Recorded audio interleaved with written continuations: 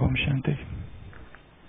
There was once a man and he was in search of truth. So he was going from one place to another. He was visiting many gurus,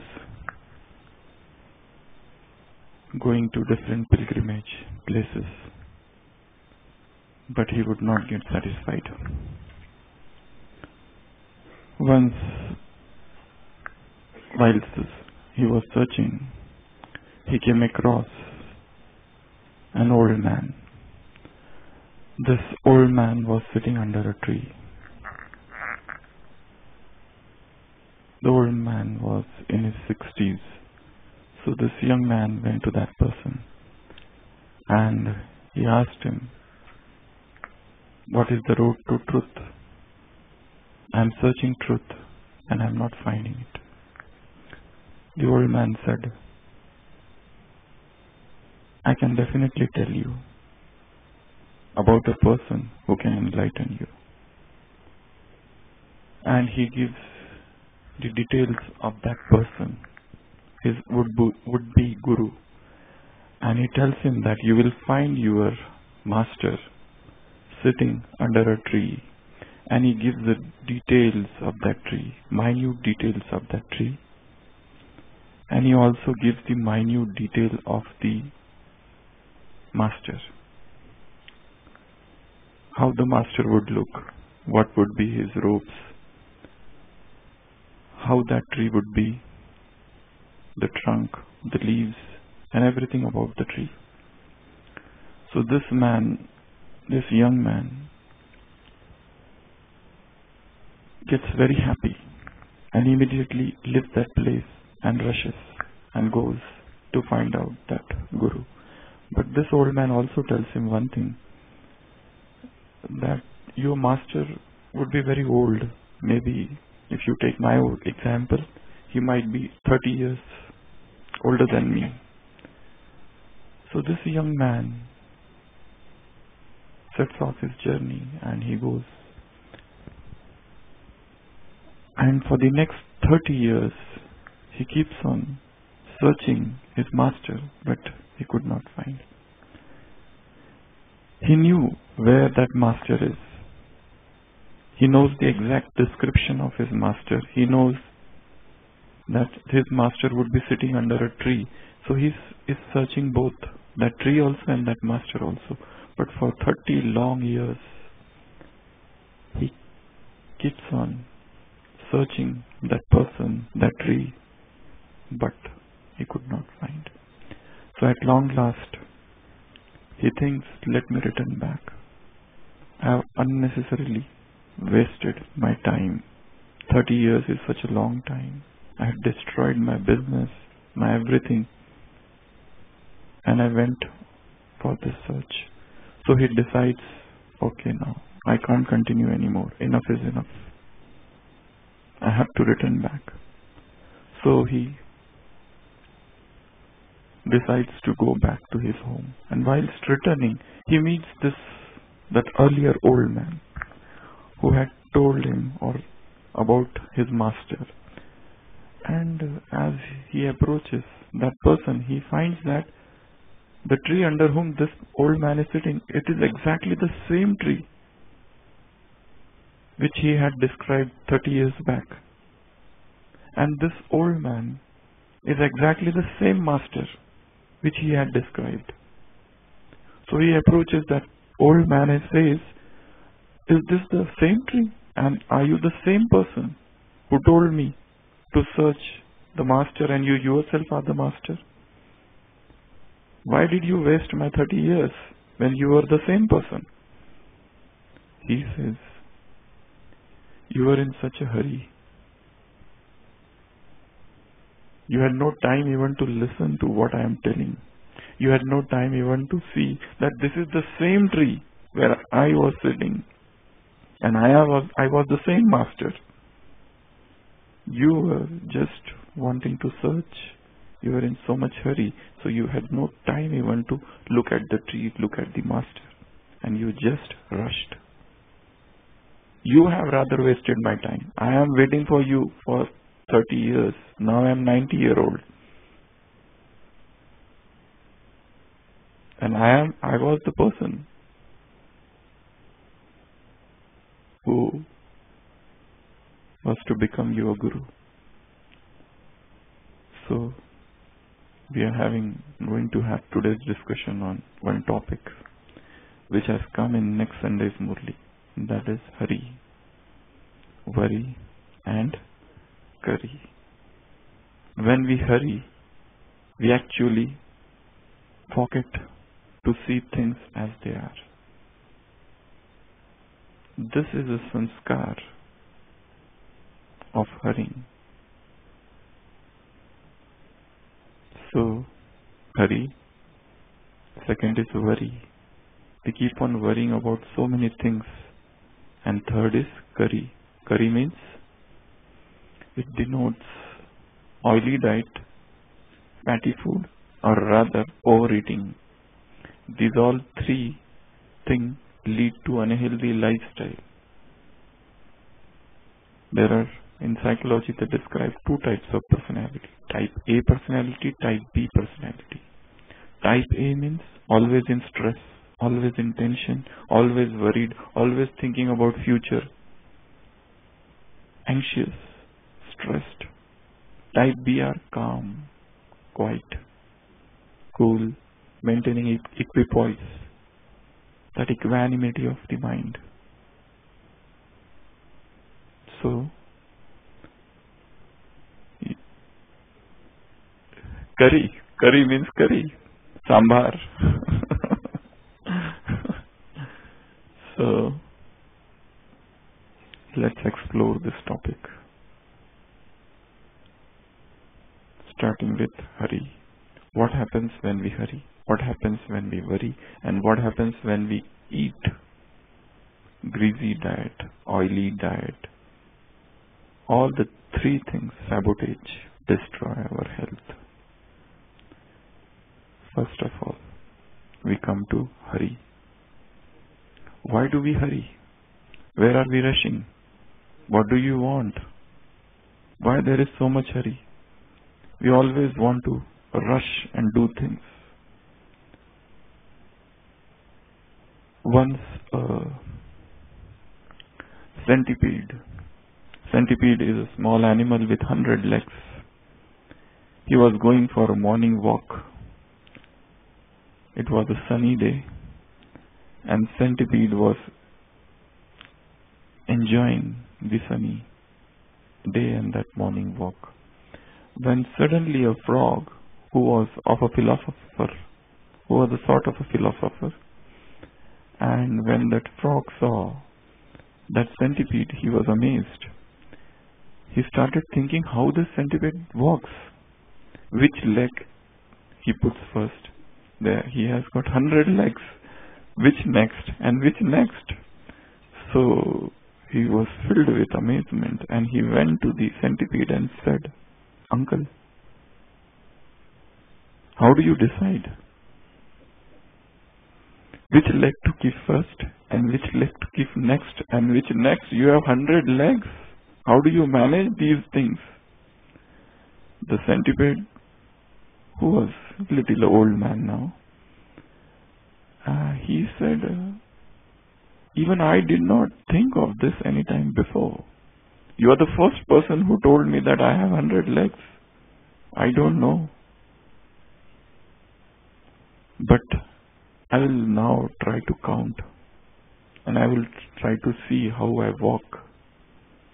And from that day, that centipede starts walking and he tries to think which leg I am keeping first and which leg next. And suddenly he wobbles and he trips and he falls down. And then he starts thinking, I have been walking like this all my life, I never thought of it and where from this frog has come and given me this question.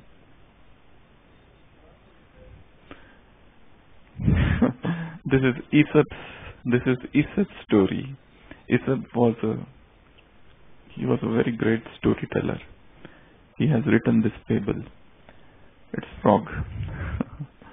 so he goes to the frog and says, Please don't ask this same question again to any of my brother centipedes.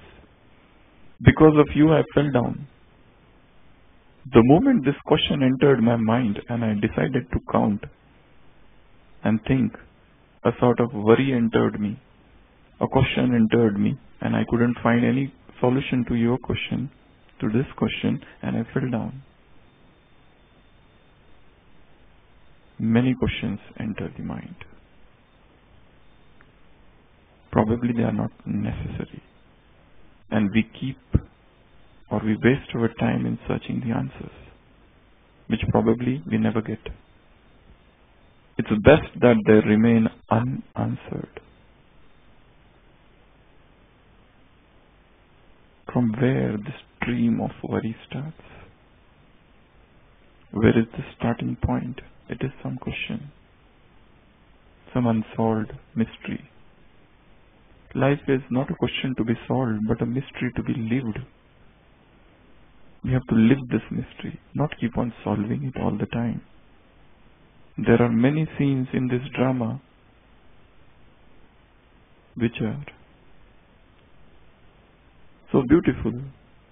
We need to enjoy them rather than unfolding the mysteries, thinking of unfolding them, trying to know why they happened, not needed. There are many scenes in this drama which are just for enjoyment. Be a mute spectator of this drama. Coming back to hurry. The very first question is why do we hurry? Because we want to be on time. Because we want to rush. Yeah? Time is less, that's why we want to hurry. I'm talking of hurrying as a sanskar throughout the day. There are people who keep on hurrying. There are people who keep on hurrying. They get up late and then they rush for Amrit Vela. The moment they get up, they find it is already late. So rush. One. They have a train and they're busy with other things and then they see the time, watch and then they rush. So gradually this sanskar of hurrying, rushing, this this habit becomes a deep rooted sanskar and we cannot get rid of this. Probably we have given so many commitments. Probably we have so many projects to finish. Probably we have so many deadlines to meet. Probably we have to finish so many targets. Yeah?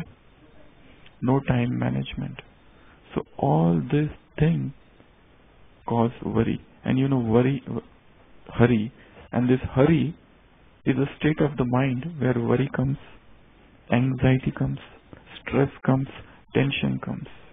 So all these things are interlinked. Stress, tension, anxiety, worry, hurry, everything. We become anxious. We can't sleep at night. We have palpitation, uneasiness, we are ill at ease. We perspire. We feel sick. Everything happens. Rather than now thinking about the different causes of hurry, which we all of us know, let us come to hurry management. How do you manage hurry? The very first principle is decide to live a slow paced life. There is no need to hurry. There is no need to rush. Lao Tse is one of the greatest of the Zen masters. He had said a beautiful thing. Look at the nature. Nature never rushes, and yet, and yet everything is accomplished with so much calmness.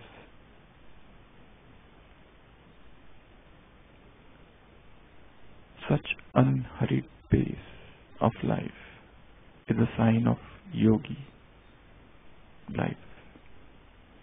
So first thing is to reduce your commitments. To reduce your commitments. Don't get overcommitted. because that will cause you to rush, to hurry. Reduce projects, reduce meetings, reduce multitasking, reduce this wild rush, this wild chase for something which is so much ill defined. You have to slow down the pace. Proper time management. Probably we are not knowing the basic principles of time management. Few days back we had discussed about management of time. Meeting deadlines, time boxing. Make a timetable first. Second is time boxing. Third is organizer. We should organize our life. We should have, we should aim to reach before time. Suppose we have to catch a train, we should be before time. Before, suppose we have to finish a target, let us finish it one day before. Otherwise you have to rush, otherwise you have to hurry. Then there is something known as time buffer. What is time buffer? Time buffer is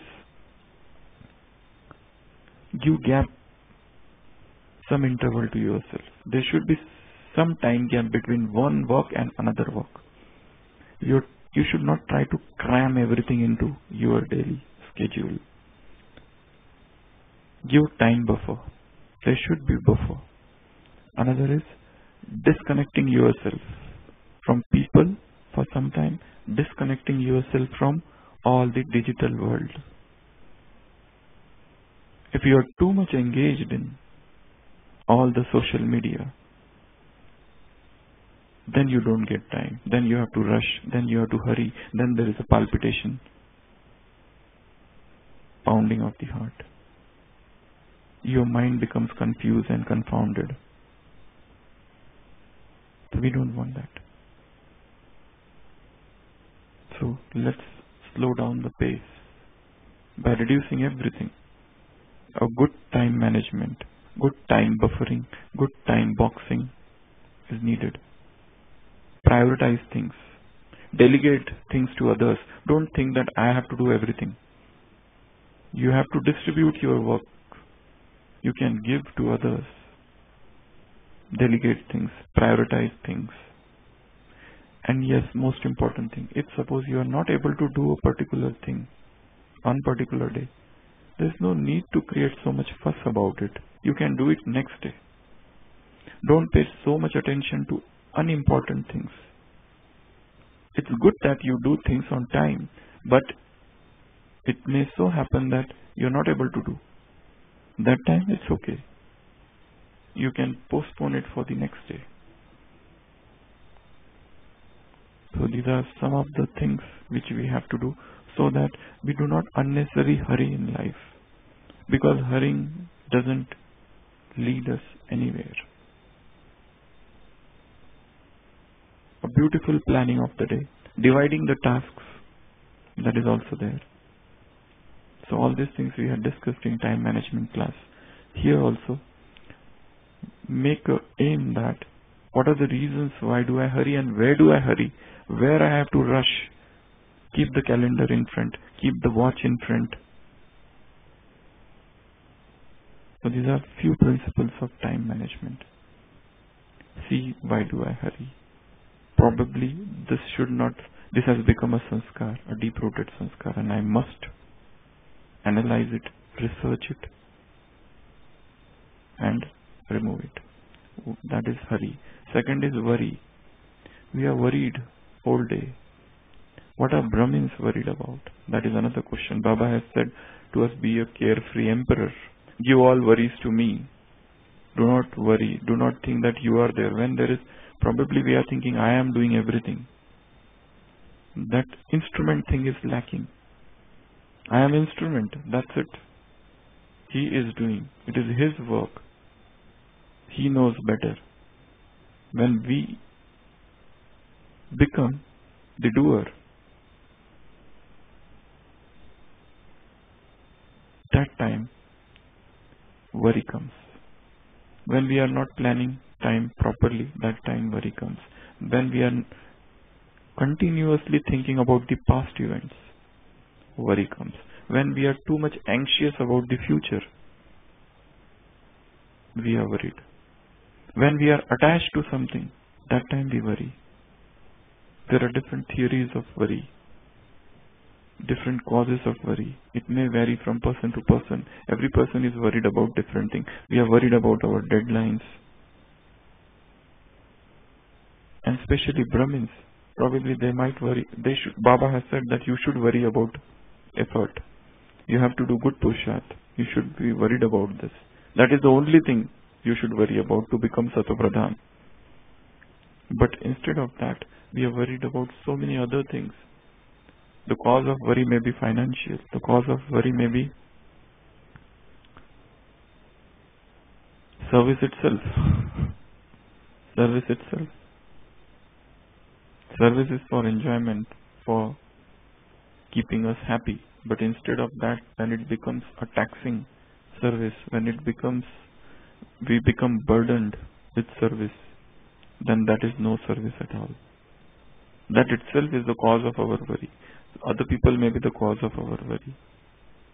Let's analyze this worry thing and try to remove it. Try to work on it. We need to work on each and everything in life.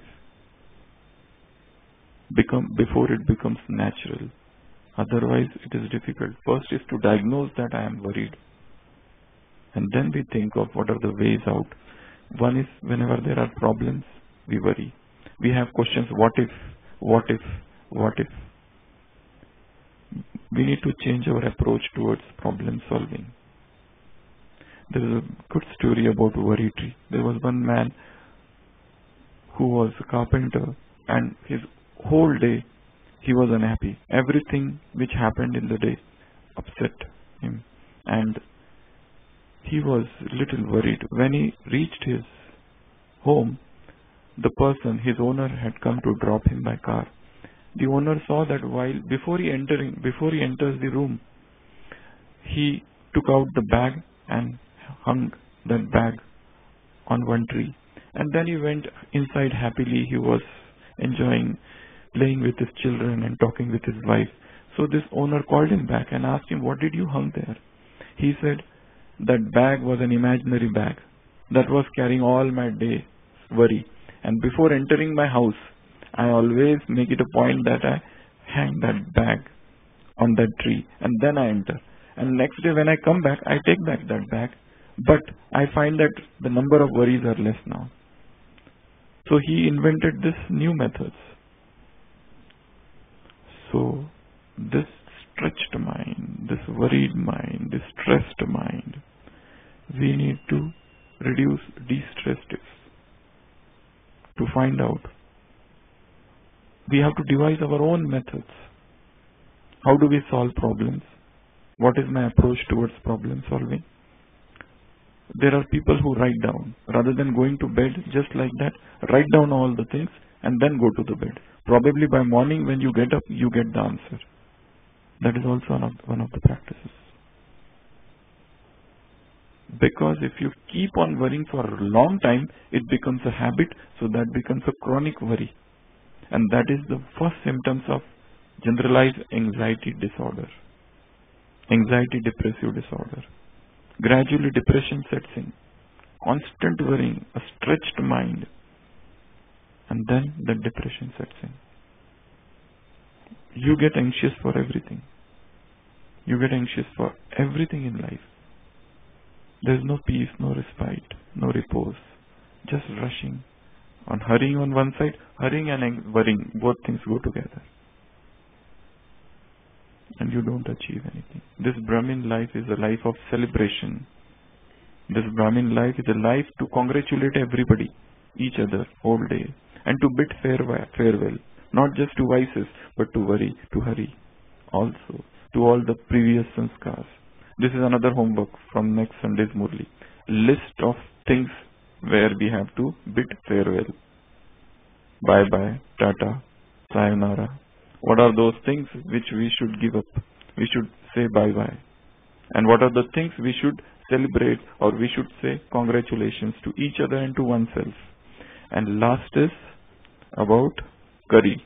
Curry means oily food, greasy food, uncontrolled diet, overeating, spicy diet. A yogi's diet should be as simple as possible. All the salty diet, all the spicy diet, all the oily diet, they make the observance of celibacy difficult. The simpler the diet, the more stable the mind, calmer the mind. And otherwise, on medical ground also, when you eat lot of oily food, gas, acidity, reflux, belching, high cholesterol, atherosclerosis, heart problems, stroke, heart attacks.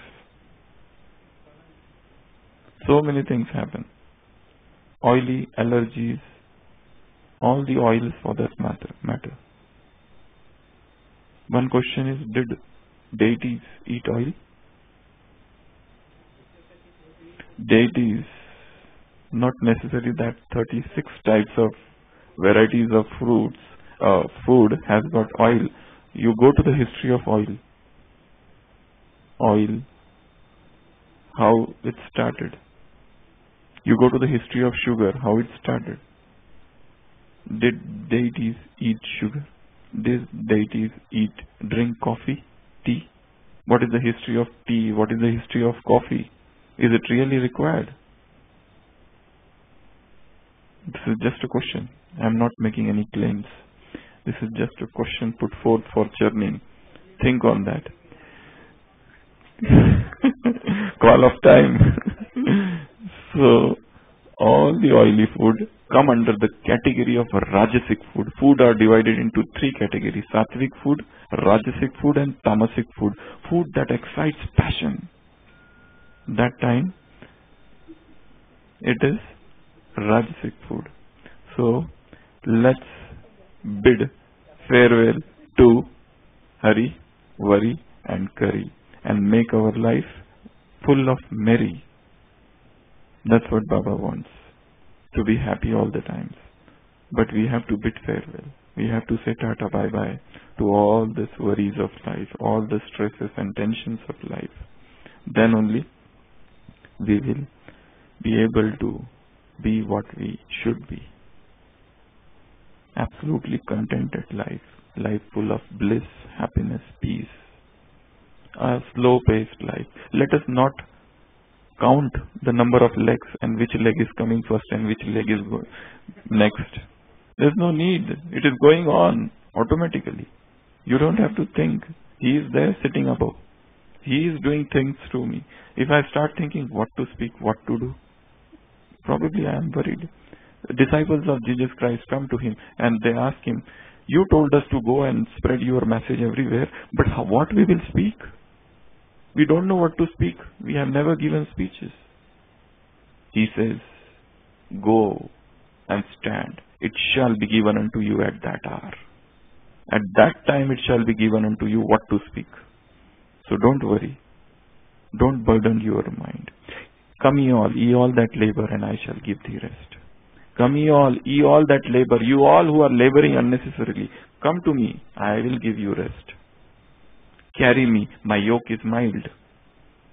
Carry me, my yoke is mild. So let's bid farewell. Tata, bye bye, sayonara to hurry, worry and curry and let's celebrate. Let's give congratulations to oneself and congratulations to other for this life full of merriment. Om Shanti.